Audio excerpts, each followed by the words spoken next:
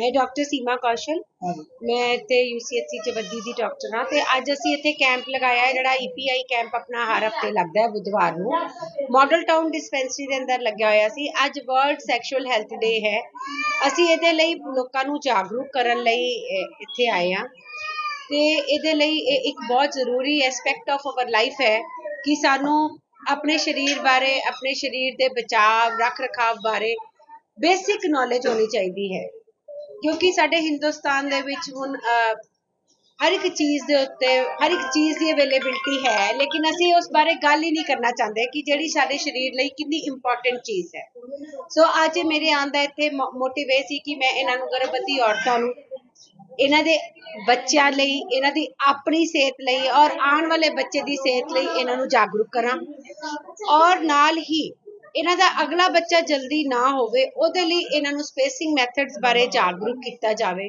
ਸਰਕਾਰ ਵੱਲੋਂ ਕਿੰਨੀ ਹੀ ਚੀਜ਼ਾਂ ਅਵੇਲੇਬਲ ਹਨ, ਲੇਕਿਨ ਕਿਉਂਕਿ ਪੇਸ਼ੈਂਟਸ ਨੂੰ ਪਤਾ ਹੀ ਨਹੀਂ ਹੁੰਦਾ, ਉਹਨਾਂ ਨੂੰ ਜਾਣਕਾਰੀ ਨਹੀਂ ਹੁੰਦੀ ਜਾਂ ਉਹਨਾਂ ਦੇ ਦਿਮਾਗ ਵਿੱਚ ਕਈ ਤਰ੍ਹਾਂ ਦੀਆਂ ਮਿਥਸ ਹੁੰਦੀਆਂ ਨੇ, ਕਈ ਤਰ੍ਹਾਂ ਦੇ ਗਲਤ ਨੋਸ਼ਨਸ ਹੁੰਦੇ ਨੇ ਕਿ ਇਹ ਕਰਵਾਉਣ ਨਾਲ ਸਾਨੂੰ ਇਹ ਹੋ ਜਾਏਗਾ, ਲੇਕਿਨ ਉਹਨਾਂ ਨੂੰ ਕਲੈਰੀਫਾਈ ਕਰਨਾ ਵੀ ਸਾਡਾ ਹੀ ਜ਼ਿੰਮੇਵਾਰੀ ਹੈ। ਸੋ ਅੱਜ ਸਾਡੇ ਨਾਲ ਏਐਨਐਮ ਮੈਡਮ ਨੇ, ਸਾਡੀਆਂ ਆਸ਼ਾ ਵਰਕਰਸ ਨੇ ਇਹਨਾਂ ਸਾਰਿਆਂ ਦੀ ਇੱਕ ਬੇਸਿਕ ਰਿਸਪੌਂਸਿਬਿਲਟੀ ਹੈ। ਸਾਡੀ ਇਹ ਇੱਕ ਸਮਾਜਿਕ ਜ਼ਿੰਮੇਵਾਰੀ ਹੈ ਕਿ ਅਸੀਂ ਇਹਨਾਂ ਮਰੀਜ਼ਾਂ ਨੂੰ, ਇਹਨਾਂ ਸਾਰੇ ਪੇਸ਼ੈਂਟਸ ਨੂੰ, ਇਹਨਾਂ ਨਾਗਰਿਕਾਂ ਨੂੰ ਇਹਨਾਂ ਦੀ ਸਿਹਤ ਬਾਰੇ ਜਾਗਰੂਕ ਕੀਤਾ ਜਾਵੇ ਔਰ ਸਪੇਸਿੰਗ ਮੈਥਡਸ ਬਾਰੇ ਦੱਸਿਆ ਜਾਵੇ ਔਰ ਇਹਨਾਂ ਦੀ ਸੈਕਸ਼ੂਅਲ ਹੈਲਥ ਉਹਦੀ ਹਾਈਜੀਨ ਬਾਰੇ ਵੀ ਦੱਸਿਆ ਜਾਵੇ ਕਿ ਬੱਚੇ ਜਦੋਂ ਬੜੇ ਹੋ ਰਹੇ ਨੇ, ਉਹਨਾਂ ਦੇ ਸਰੀਰ ਦੇ ਅੰਦਰ ਕੀ ਚੇਂਜਸ ਆ ਰਹੇ ਨੇ ਤੇ ਉਹਨਾਂ ਦੀਆਂ ਮਾਨਸਿਕ ਅਤੇ ਸਰੀਰਕ ਜੋ ਵੀ ਉਹਨਾਂ ਦੇ ਅੰਦਰ ਚੇਂਜਸ ਨੇ, ਉਹਨਾਂ ਬਾਰੇ ਉਹਨਾਂ ਨੂੰ ਮੋਟੀਵੇਟ ਕਰਕੇ ਉਹਨਾਂ ਨੂੰ ਦੱਸਿਆ ਜਾਵੇ ਕਿ ਇਹ ਸਾਰੇ ਜਿਹੜੇ ਚੇਂਜਸ ਨੇ, ਇਹ ਕੁਦਰਤੀ ਨੇ ਤੇ ਇਹਨਾਂ ਨਾਲ ਕਿਵੇਂ ਡੀਲ ਕੀਤਾ ਜਾਵੇ। ਜਿੱਥੇ ਤੱਕ ਸਪੇਸਿੰਗ ਮੈਥਡ ਦਾ ਸੰਬੰਧ ਹੈ, ਇੱਕ ਇੰਜੈਕਸ਼ਨ ਆ ਗਿਆ ਹੈ, ਜਿਹਨੂੰ 3-3 ਮਹੀਨੇ ਦਾ ਅਸੀਂ ਲਗਾ ਸਕਦੇ ਹਾਂ।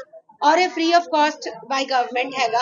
ਹਰ ਇੱਕ ਸਰਕਾਰੀ ਸੈਂਟਰ ਦੇ ਵਿੱਚ ਇਹ ਲੱਗ ਜਾਂਦਾ ਹੈਗਾ ਤੇ ਕਿਰਪਾ ਕਰਕੇ ਸਾਰੇ ਏਐਨਐਮਸ ਆਸ਼ਾ ਵਰਕਰਸ ਨੂੰ, ਆਪਣੇ ਪੇਸ਼ੈਂਟਸ ਨੂੰ ਆਫਟਰ ਡਿਲੀਵਰੀ ਮੋਟੀਵੇਟ ਕਰ ਦੇਣਾ ਚਾਹੀਦਾ ਕਿ ਉਹ ਇਸ ਇੰਜੈਕਸ਼ਨ ਨੂੰ ਜਾਂ ਮਲਟੀ ਲੋਡ ਨੂੰ ਜਾਂ ਕਾਪਰ ਲਈ ਉਹਨਾਂ ਸਾਰਿਆਂ ਨੂੰ ਮੋਟੀਵੇਟ ਕਰਨ ਕਿ ਉਹ ਆਪਣੇ ਅਗਲੇ ਬੱਚੇ ਲਈ ਘੱਟੋ ਘੱਟ 3 ਸਾਲ ਦਾ ਫ਼ਰਕ ਰੱਖ ਥੈਂਕ ਯੂ ਤੇ ਡਾਕਟਰ ਸਾਹਿਬ ਜਿੱਦਾਂ ਦੇਖਿਆ ਵੇ ਕ੍ਰਾਈਮ ਦੇ ਬਾਰੇ ਵੀ ਦੱਸਿਆ ਹੈ ਜਿੱਦਾਂ ਰੇਪ ਦੇ ਮਾਮਲੇ ਵੀ ਕਾਫੀ ਡਾਕਟਰਾਂ ਨੇ ਜ਼ਿਕਰ ਵੀ ਕੀਤਾ ਇਸ ਮਸਲੇ ਨੂੰ ਕੀ ਕਹਿਣਾ ਚਾਹੁੰਦੇ ਦੇਖੋ ਇਹ ਤਾਂ ਬੜੀ ਦੁਖਦ ਘਟਨਾਵਾਂ ਹੁੰਦੀਆਂ ਨੇ ਲੇਕਿਨ ਦੁੱਖ ਇਸ ਗੱਲ ਦਾ ਹੁੰਦਾ ਹੈ ਕਿ ਸਾਡੇ ਸਮਾਜ ਵਿੱਚ ਇੰਨਾ ਜ਼ਿਆਦਾ ਰੇਪ ਔਰ ਕੇਸਿਸ ਇਤਨੇ ਜ਼ਿਆਦਾ ਨੇ ਔਰ ਉਸ ਤੋਂ ਬਾਅਦ ਉਨੀ ਬਰੂਟੈਲਿਟੀ ਹੈ।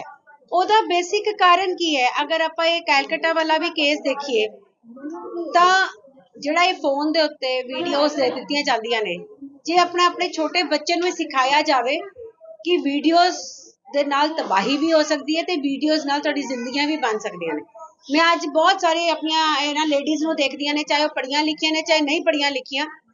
ਉਹਨਾਂ ਨੂੰ ਫੋਨ ਚਲਾਉਣਾ ਆਉਂਦਾ ਹੈ। ਉਹਨਾਂ ਨੂੰ YouTube ਤੇ ਉਹਨਾਂ ਨੂੰ ਸਾਰੀਆਂ ਦੇਖਣੀਆਂ ਆਉਂਦੀਆਂ ਨੇ, YouTube ਦੀਆਂ ਕਲਿੱਪਸ ਲੇਕਿਨ ਕਦੇ ਬੈਠ ਕੇ ਉਹ ਇਹ ਨਹੀਂ ਦੇਖਣਗੀਆਂ ਕਿ ਮੇਰਾ ਆਉਣ ਵਾਲਾ ਬੱਚਾ ਹੈ, ਮੈਂ ਉਹਦੇ ਲਈ ਕੀ ਖਾਣਾ ਹੈ ਕੀ ਪੀਣਾ ਹੈ ਆਪਣੀ ਸਿਹਤ ਦਾ ਕਿਵੇਂ ਧਿਆਨ ਰੱਖਣਾ ਹੈ। ਉਹ ਨਹੀਂ ਦੇਖਣਗੀਆਂ ਗਾਣੇ ਦੀਆਂ ਵੀਡੀਓਜ਼ ਦੇਖ ਲਓ ਇੱਧਰ ਉੱਧਰ ਦੀਆਂ ਦੇਖ ਲਓ ਆ ਫालतू ਦੇ ਕੰਮ ਦੇਖ ਲਓ ਕਿਉਂਕਿ ਉਹਨਾਂ ਨੂੰ ਬੇਸਿਕ ਨੌਲੇਜ ਹੀ ਨਹੀਂ ਹੈ। ਆਪਾਂ ਇਹ ਕੀੜਾ ਹੀ ਨਹੀਂ ਪਾਉਂਦੇ ਉਹਨਾਂ ਦੇ ਅੰਦਰ ਕਿ ਪੜ੍ਹਾਈ ਕਰਨਾ ਨੌਲੇਜ ਗੇਨ ਕਰਨਾ ਵੀ ਬਹੁਤ ਅੱਛੀ ਆਦਤ ਹੈ। ਇਹ ਆਦਤ ਹੀ ਬਣਨੀ ਚਾਹੀਦੀ ਹੈ। ਜਿਹੜਾ ਅੱਜ ਮੈਂ ਕੈਂਪ ਲਾਇਆ ਲੋਕਾਂ ਨੂੰ ਸਮਝਾਇਆ ਰਿਹਾ ਸਿਰਫ ਗਰਭਵਤੀ ਬੱਚੇ ਔਰਤਾਂ ਨੂੰ ਸਮਝਾਇਆ ਗਿਆ। ਨਹੀਂ ਇਹਦੇ ਵਿੱਚ ਗਰਭਵਤੀ ਔਰਤਾਂ ਦੇ ਹਸਬੈਂਡਸ ਵੀ ਖੜੇ ਨੇ। ਔਰ ਬੇਸਿਕਲੀ ਜੇ ਅਸੀਂ ਚਾਹੁੰਦੇ ਹਾਂ ਕਿ ਸਾਡੀ ਸੁਸਾਇਟੀ ਦੇ ਵਿੱਚ ਰੇਪਸ ਨਾ ਹੋਣ ਤਾਂ ਮੇਰੇ ਹਿਸਾਬ ਨਾਲ ਔਰਤਾਂ ਨਾਲੋਂ ਬੰਦਿਆਂ ਨੂੰ ਇਹ ਸਮਝਦਾਰੀ ਦੇਣੀ ਬਹੁਤ ਜ਼ਰੂਰੀ ਹੈ। ਇਹ ਜਿਹੜਾ ਆਪਣੇ ਸਮਾਜ ਦੇ ਵਿੱਚ ਇਹ ਮੁੰਡੇ ਮੁੰਡੇ ਦੀ ਜਿਹੜੀ ਇੰਨੀ ਜ਼ਿਆਦਾ ਕਰ ਦਿੱਤੀ ਜਾਂਦੀ ਹੈ ਕਿ ਮੁੰਡਾ ਪਤਾ ਨਹੀਂ ਕਿਹੜੇ ਫੁੱਲ ਲਗਾ ਦਿੰਦਾ ਆ ਕੇ ਕਿਉਂਕਿ ਅਸੀਂ ਆਪਣੇ ਜੈਂਡਰ ਬਾਇਸ ਇੰਨੇ ਜ਼ਿਆਦਾ ਹੋ ਚੁੱਕੇ ਆ ਸਾਡੇ ਘਰ ਦੀ ਔਰਤ ਹੁਣੇ ਇੱਕ ਲੇਡੀ ਆਈ ਆ, ਉਹ ਕਹਿੰਦੀ ਜੀ ਮੇਰੇ ਕੋਲ ਤਾਂ ਕੋਈ ਬੱਚੇ ਇੰਨੇ ਬਹੁਤੇ ਨਹੀਂ ਹੈਗੇ ਮੇਰੇ ਕੋਲ ਤਾਂ ਸਿਰਫ ਦੋ ਹੀ ਕੁੜੀਆਂ ਹੀ ਨੇ। ਇਹਦਾ ਮਤਲਬ ਕੁੜੀਆਂ ਨੂੰ ਉਹ ਬੱਚੇ ਨਹੀਂ ਮੰਨਦੀ। ਕੁੜੀਆਂ ਫालतू ਨੇ।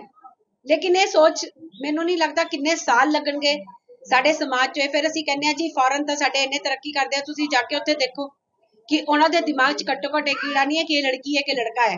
ਸਭ ਨੂੰ ਸਮਾਨਤਾ ਦਿੱਤੀ ਜਾਂਦੀ ਹੈ ਔਰ ਇਕੁਐਲਿਟੀ ਦਾ ਰਾਈਟ ਜਿਹੜਾ ਸਰਕਾਰ ਨੇ ਬਣਾਇਆ ਹੈ, ਉਹਦਾ ਬਿਲਕੁਲ ਯੂਜ਼ ਹੋਣਾ ਚਾਹੀਦਾ ਜਿਹੜਾ ਸਾਡੇ ਸਮਾਜ 'ਚ ਨਹੀਂ ਹੁੰਦਾ। ਕਿਹੜੀ ਜਗ੍ਹਾ ਹੋ ਰਿਹਾ ਹੈ ਜਿਹੜਾ ਪਹਿਲਾਂ ਕੀਤਾ ਗਿਆ ਤੁਹਾਡੇ ਇਹ ਇੱਥੇ ਦੀ ਸਾਡੀ ਅਰਬਨ ਡਿਸਪੈਂਸਰੀ ਹੈ ਮਾਡਲ ਟਾਊਨ ਦੀ। ਇੱਥੇ ਹਰ ਹਫ਼ਤੇ ਬੱਚਿਆਂ ਦੇ ਟੀਕੇ ਲੱਗਦੇ ਨੇ, ਮਾਵਾਂ ਦੇ ਕਾਰਡ ਬਣਦੇ ਨੇ।